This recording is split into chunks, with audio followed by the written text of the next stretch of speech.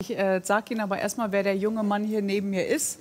Er heißt Yundi und ist ein Riesenstar, nicht nur in China, aber vor allen Dingen natürlich in seinem Heimatland. Wir haben ein paar Bilder, die das nochmal eindrücklich unter Beweis stellen. Er führt wirklich komplette Konzerthallen, ist wirklich ein Popstar, gefeiert und seine Bühnenoutfits, wir haben es gerade schon ein bisschen gesehen, sind bei weitem nicht nur schwarz-weiß gehalten, sondern strahlend wie seine Musik. Welcome. It's a great pleasure to have you. Good morning. Morning, morning. So why do you look so smart today? Where's the fancy clothes? Nice weather and uh, so so glad to come to here and to this wonderful TV show.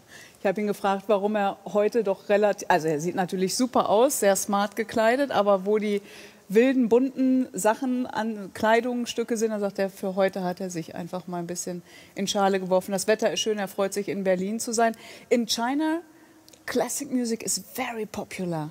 How does it come? Warum ist klassische Musik in China so beliebt? Uh, a lot of young people uh, like music, especially classical music, and piano is so popular since like uh, 50 million people, children study piano. So that's really? wonderful. 15? Yeah. Yeah, Or 50. 50. Five zero. Yes. 50 Millionen Right. st studieren Yeah, klassische. Musik. Wow, Piano. Wow. So when did you start? Wann haben Sie begonnen, das äh, Piano zu spielen? Uh, seven. But that is yeah. mit sieben, that is quite late. A little late, but it's fine. Ja, er sagt, es ist ein bisschen später, aber es ist immer noch äh, okay. Und dass es okay ist, sieht man nicht nur daran, wie viele Platten er verkauft, sondern er hat auch 15 Millionen Follower und reist wirklich durch die ganze Welt. Is it always something special for you to come to Berlin? Uh, yes, I just had a concert before yesterday in the Philharmonic. Beautiful hall. Yesterday? Before yesterday. Oh yeah, okay. Two days ago. So, and was Yeah. it was it good? Very good, very nice hall, and hope to come more often. So, er, er hat vor zwei Tagen in der Philharmonie gespielt und es war, das darüber haben wir schon äh, unterhalten, natürlich ausverkauftes Haus und er tourt noch ein bisschen weiter.